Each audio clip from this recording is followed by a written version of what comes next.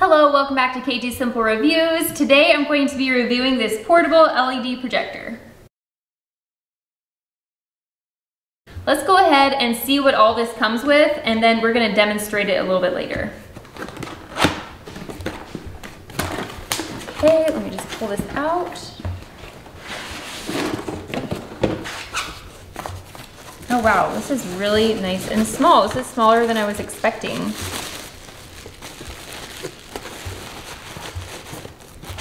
So I'm just gonna take everything out and show you what all it comes with. Okay, so this is everything that this comes with. It has the remote right here. We have the user manual. This is the video audio cord. This is the HDMI cables. This is the power cord.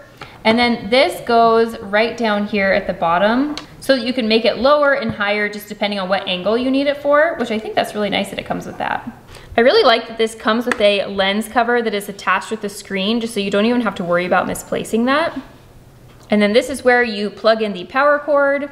And then this is where you're going to plug in your other cables and headphones and things like that. The bottom has four non-slip grips, which is really nice. So you don't have to worry about this falling off of a surface.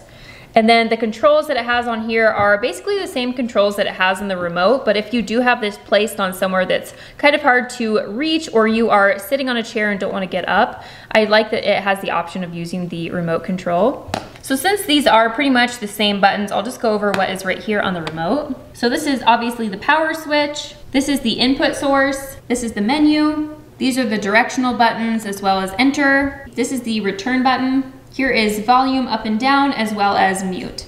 I'm gonna go ahead and try this out on a projector area so that we can see what this looks like on a perfectly flat wall so we can get a good idea of what this projector can do. Okay, I have this all set up. Obviously you can set this up however you would like. I just have a makeshift little stand for it that is the right height for where I want it on the projector screen wall. So I just wanted to show you I have this on. I know you kind of saw this earlier, but right here is where you're going to adjust how blurry or how clear your picture is. And then right here, you're going to um, adjust the screen. I'm just gonna show you um, the screen that I have up here. So you can see that is making it blurry. And then I'm just going to adjust it just to make it clear right here.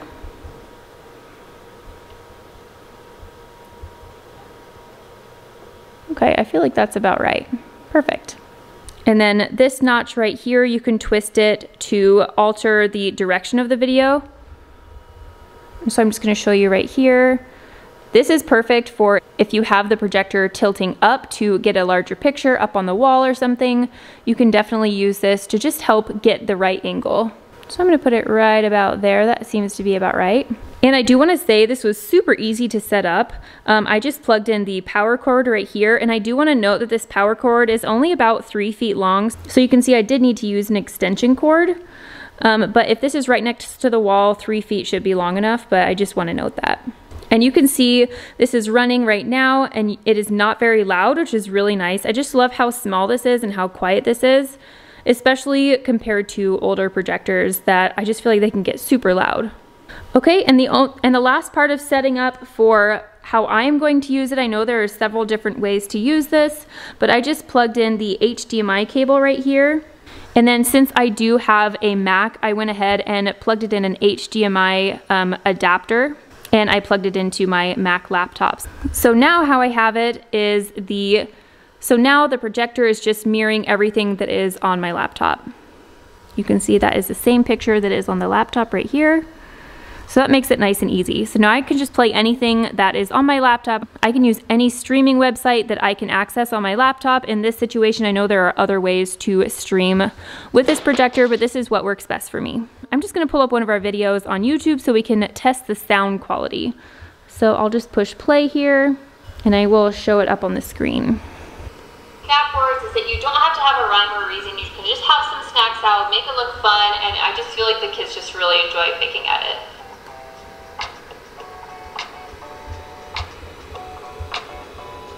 Okay, nice. So that's full screen. That looks so nice.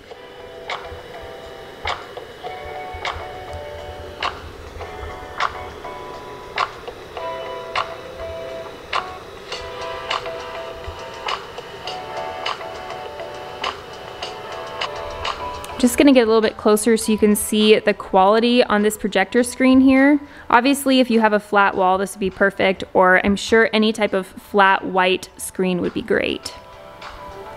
But I'm honestly impressed with the quality. I am not complaining at all. This, this looks pretty great.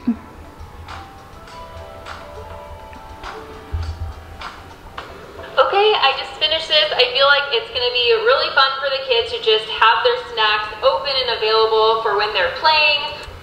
Okay, so I'm just gonna pause that there. I feel like overall the sound quality works good, the picture works good, the setup was easy, and it's a really small device to package up and store away if you aren't able to keep it out all the time.